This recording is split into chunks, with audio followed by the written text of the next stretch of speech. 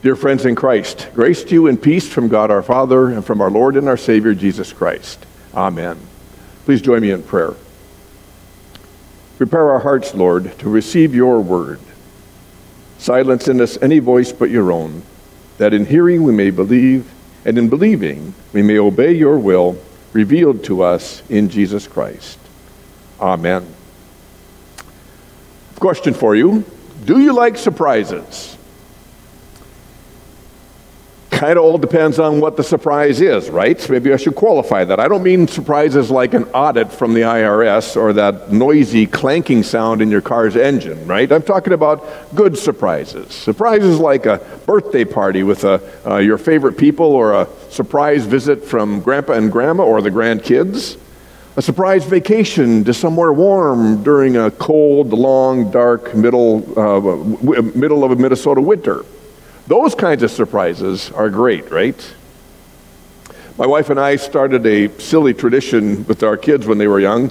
Every once in a while, we would announce that we were taking them on a special field trip.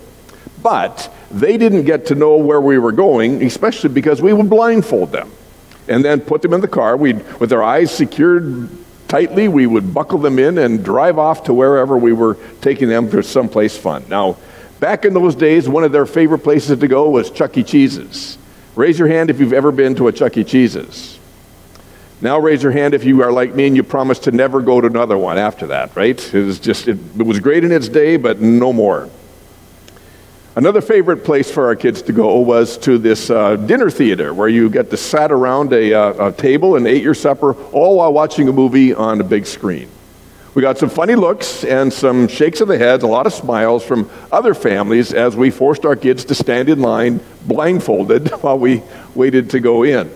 Luckily, no one ever arrested us for child endangerment or being abusive parents. God has a big surprise in store for Abraham and Sarah. One day, while they're just minding their own business, living their lives in an area that's now Iran or Iraq, the Lord appears to them and says, Get ready, because I have a deal for you, a big surprise. You're going on a trip. And on top of all that, I'm going to give you three amazing blessings. I'm going to give you a, lead you to a land that will become yours to live in. I'm going to make of your people a great nation, and I'm going to bless you. I'm going to bless you so that through you, all the nations of the world or the families of the world will be blessed. Pretty cool deal, right? There was no contest. Abraham and Sarah didn't have to convince God to pick them.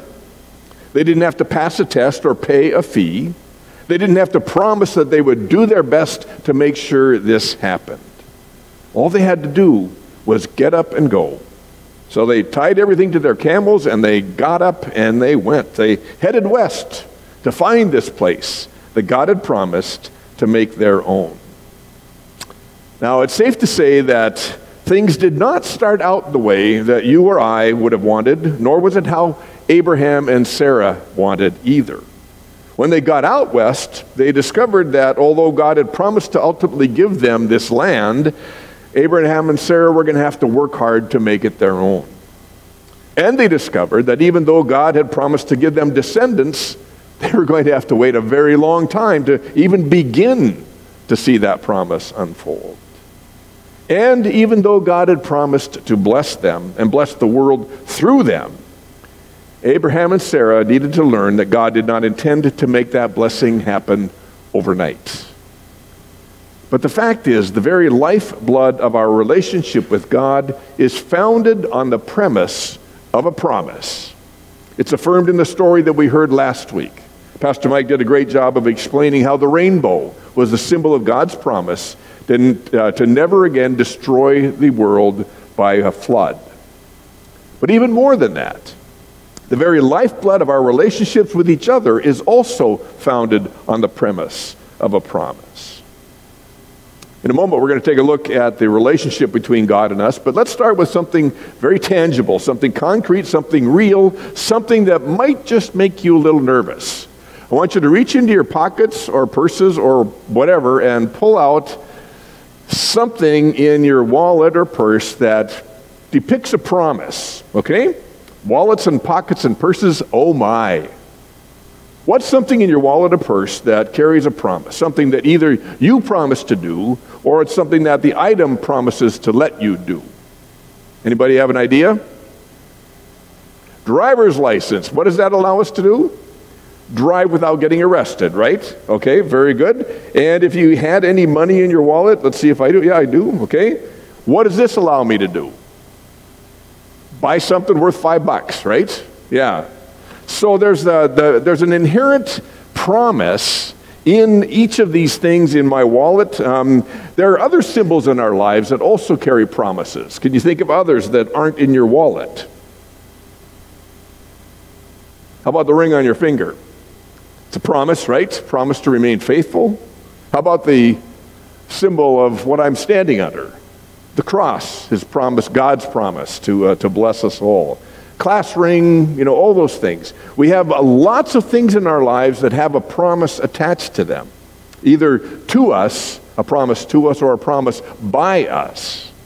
Each agreement, each contract, each covenant carries with it an explicit benefit if it's honored and a specific consequence if it's not honored. Here are some examples of, from my childhood. As long as you're living in the house, these are the rules. Did you ever hear that from your parents? Here's another one ignorance of the law is not a defense.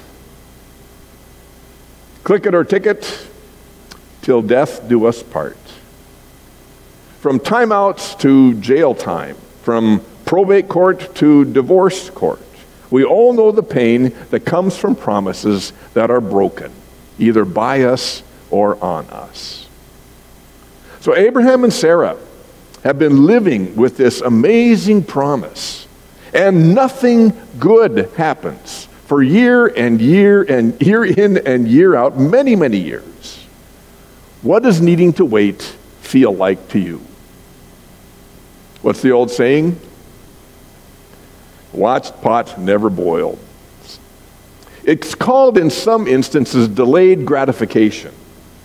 Do you remember needing to save your pennies and nickels and dimes and quarters and dollar bills to buy something that you really, really wanted and your parents wouldn't let you get it until you had all the money? Now, we Americans aren't that big on waiting for what we want or even getting help for what we need. We want our problem fixed and we want it fixed now. Delayed gratification, no thank you. Think about Abraham and Sarah to have been given a promise that something wonderful, three wonderful things were, going to happen, and then have to wait and wait and wait some more. Eventually, I think I would have started to wonder if, in fact, whoever made the promise maybe forgot that they made the promise, right? And that probably this wonderful thing or these wonderful things was never going to happen. Okay, to recap, Abraham and Sarah responded positively, positively to God's call. They pulled up their stakes, headed west, packed up the servants, and well, three chapters later and many, many, many years later, lots of things have happened to Abraham and Sarah. They had to move down to Egypt to get uh, away from a famine that was in the, uh, the, the, land that they were there. They returned and moved around until they could find at least a place to settle. And then they had to fight a war with some people who didn't want them as their neighbors. As you probably know, by this time, none of those three promises have been fulfilled by God. Zero. Zilch, zip. They don't own an acre of land. They remain childless, and they haven't blessed anybody. In fact, they've caused a lot of trouble wherever they land. Well, God visits the couple one more time, or again, I should say, and again reaffirms his promise to bless them as he said before. But this time, Instead of just giving him his verbal commitment, God affirms this promise by making a covenant with Abraham and Sarah. Now, the making of a covenant, actually, the word is cutting of a covenant, eh, which is the source of the phrase, let's cut a deal. The cutting of a covenant was a legal act. It was binding. It was very serious. The ritual was cool if you're a kid, probably, and really gross if you're not. Uh, you heard it described. Abraham had to kill a heifer, a goat, a ram, and then two birds. And the big animals he had to saw in half. And then he had to put them pieces, one over here and one over here, one over there, one over there, one over there, one over there. What would that walkway be like by the time you drag those bloody carcasses over? It's going to be blood and guts everywhere, right? So this is the way it happened. A, uh, two kings or two queens or two business people would do this. They would offer the appropriate sacrifice, and they would stand together on that walkway, walk through the bloody mess, and then they would say at the end something like this May this or something worse happen to me if I fail to live up to my end of the agreement. That's what's called cutting a covenant, cutting a deal. Very serious implications for it, right? So, in this story, if you were to have read it, um, Abraham gets everything ready and then he falls asleep. So he's, he's asleep when God's ready to make the covenant. So, what passes through there? A smoking fire pot, which is a symbol of God. So, God's the one who goes through and says, If I fail to live up to my end of the agreement, may this happen to me or worse if I don't see to it that all of these things come true. While Abraham is sleeping. What does that say? Does God really expect us to be able to live up to our word? Think God knows who we are, right? And that sometimes we'll do it and other times we won't.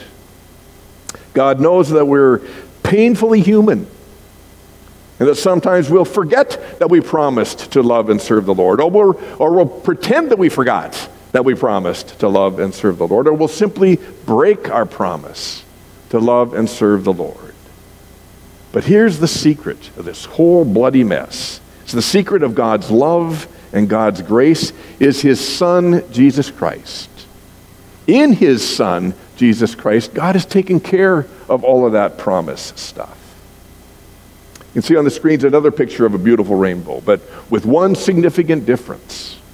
Where the rainbow appears to touch the land, there we find not a pot of gold, but something far more precious, far more important to the gift of life, far more important to the gift of new life that we share in God. Truly, God has made the promise, God has taken care of the promise, and God promises to take care of you and me all because of Jesus' willingness to die on the cross. Isn't that a great surprise? A beautiful surprise. One that takes all of our promises, broken and kept, all of our stories, true and false, all of our attempts, both our successes and our failures, and makes them all good. Good for the glory of God, so that the world can be saved through Christ. Thanks be to God. Amen.